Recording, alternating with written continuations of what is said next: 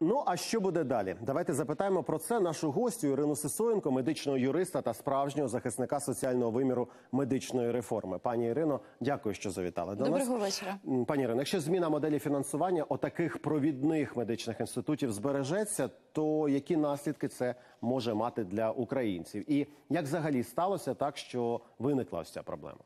Ну, по-перше, хочу сказати, що роль е, інститутів Академії медичних наук неймовірно важлива для нашої країни. Чому? Тому що е, те, що ті послуги медичні, які надаються в закладах Академії медичних наук, це справді є тією останньою інстанцією. Туди приїжджають найбільш важкі патології вагітних, е, вагітні з онкологією. Там робляться дуже серйозні операції, ті, які не робляться в районних, в міських, в обласних Ну, навіть лікарнях. не в усіх обласних Тож останні стадії вже врятувати життя людини можливо лише е, завдяки е, науковим медичним закладам.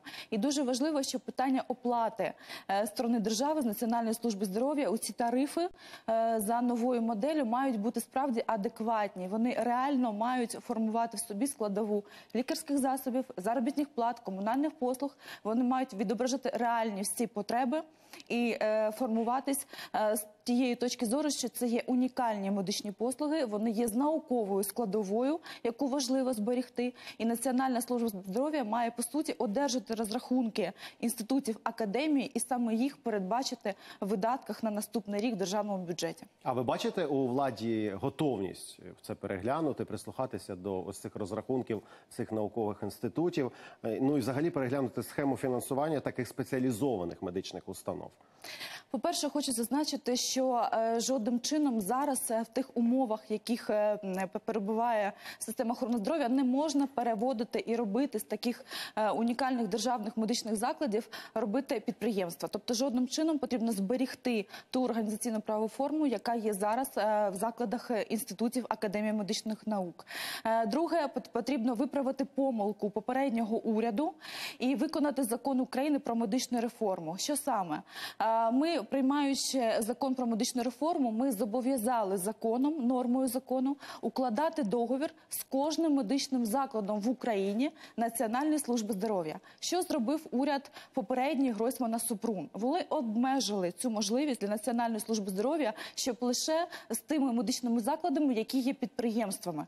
Тож діючий уряд має внести зміни відповідно до постанови, щоб з 1 квітня е, інститути Академії медичних наук так само мали можливість укласти договір з Національною службою здоров'я, не змінюючи свою організаційну правову форму і одержувати ті тарифи за інсульти, інфаркти, і по суті давати можливість українцям з усіх регіонів приїжджати в ці заклади, і щоб медична допомога оплачувала саме е, всіма можливими джерелами державного А фінансування. скільки часу є на виправлення цієї помилки?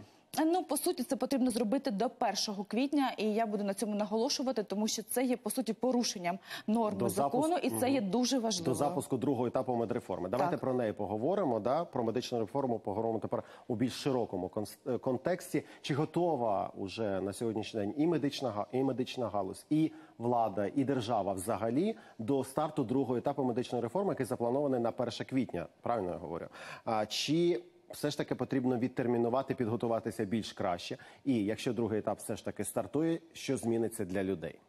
Е, Перше, що дуже важливо, це питання у тих тарифів, тому що за зміною е, принципу фінансування, якщо тариф реально неадекватний, то той, який є значно заменшений, і ми сьогодні це чуємо саме безпосередньо від медичних е, працівників, що тариф набагато менший ніж є потреба в оплаті тих чи інших медичних послуг. Тож ми маємо розуміти, що медична реформа по суті і мета медичної реформи це внести покращення і точно не погіршити стан медицини, який є.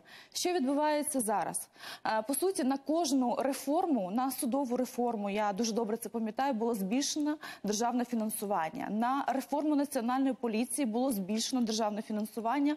Були додаткові кошти на підвищення заробітних плат е, поліцейським, на закупівлю автотранспорту, на новий одяг, на камеру відеоспостереження. На все це були додаткові кошти. По відношенню до реформи медицини додаткового фінансування немає. Тож державне фінансування як до медичної реформи було на рівні до 3% від ВВП, так само і в цьому році, в року реформи. Так само 2,9% від ВВП. Тож, по суті, змінюється принцип фінансування який потребує додаткових коштів. І пацієнти чекають від медичної реформи, що нарешті. Е, Припиниться оці е, благодійні внески в медичних закладах, і те, що е, люди сплачували весь цей час з власної кишені, що держава нарешті почне за них оплачувати реальним державним фінансуванням. Що чекають від реформи медики? Медики чекають від реформи не закриття медичних закладів, які відбуваються зараз по всій Україні. Медики чекають підняття заробітних плат офіційних додатковим державним фінансуванням. Тож задача державної влади, і це має бути зараз в пріоритеті. Не збільшення зарплат чиновників, от ті шалені кошти зарплат, які ми бачимо зараз, що стосується уряду, заступників міністрів і так далі. А додаткові кошти саме на медичну реформу вже в цьому році. І не допустити закриття медичних закладів необґрунтованих, які відбуваються по всім регіонам України, Ну, в принципі- і не допустити медичного колапсу. Ну, урядовці вже обіцяли, що вони будуть переглядати бюджет. Ця тема активно мусується вже не перший тиждень. Можливо, щось вони з бюджетом вирішать і додадуть е, до бюджетних видатків на охорону здоров'я. Будемо на це сподіватись. Я до від себе додам. Ми вже закінчуємо з вами розмову. Не перший рік ви боретеся за врятування Академії медичних наук України. Не перший рік ви врятуєте наші ці наукові інститути від недофінансування. недофінансування. Пам'ятаю, як ви боролися з урядом Гройсмана, коли Так. інститути ле- ледь не були закриті. Ну що ж, успіху вам і в цьому році. Успіху вам в Дякую. боротьбі. Роль академії із- неймовірно із- висока для всіх пацієнтів це нашої дійсно держави. так. Я дякую вам за вашу роботу і за вашу боротьбу. Ірина Сисоєнко відповідала на мої питання. Ми з вами продовжуємо подробиці тижня. І ось які теми обговоримо далі в нашій програмі.